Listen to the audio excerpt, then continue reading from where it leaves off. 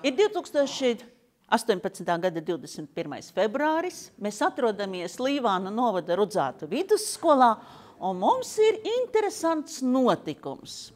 Spīd saule, mums ir atbraukuši ciemiņi, no tālu ceļu braukuši, no Salacgrīvas novada un atveduši pārsteiguma dāvanu – bibliokuģi. Projekts, kura uzdevums ir iepazīstināt vidusskolēnus ar iespēju apgūt ar jūru saistītas profesijas, iepazīties ar interesantiem cilvēkiem un ar iespējām ko var izdarīt arī jauns cilvēks, kas mācās Latgalē. Mums bija tikšanās ar bibliotēku pārstāvjiem, mums bija tikšanās ar jūras skolas kadetiem vai audzēkņiem, kā pareizi jāsaka, piedodiet, es nemaz nezinu īsti, kā pareizi nosaukt. Un te bija sapulcējušies 8. 12. klašu skolēni, lai interesanti pavadītu laiku. Un šobrīd varbūt arī neviens nepateica, ko izvēlēsies, bet dzīve ir nejaušība.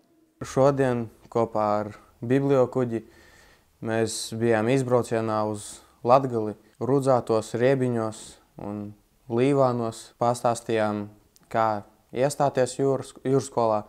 Kāds vēl nav izlēmis, ko darīt, droši braucat, iestājieties jūrskolā.